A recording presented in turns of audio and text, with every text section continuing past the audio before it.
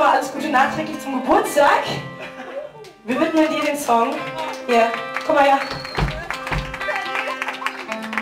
Sie hatte nämlich Geburtstag und wir wollten eigentlich zum Geburtstag kommen und Akustik spielen, aber ich musste leider arbeiten bei ihm an der Kasse und äh, deshalb hat das nicht so ganz funktioniert. Aber wir wünschen dir alles Gute nachträglich und ähm, Höhenflug oder Fly kommt jetzt nur für dich.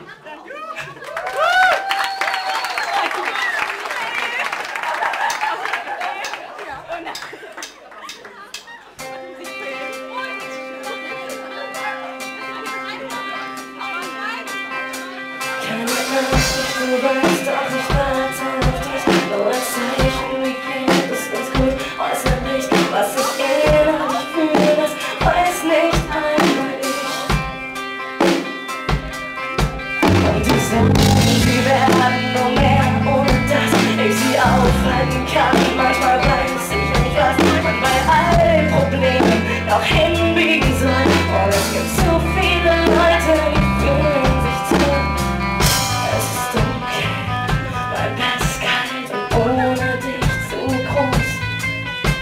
Ich würde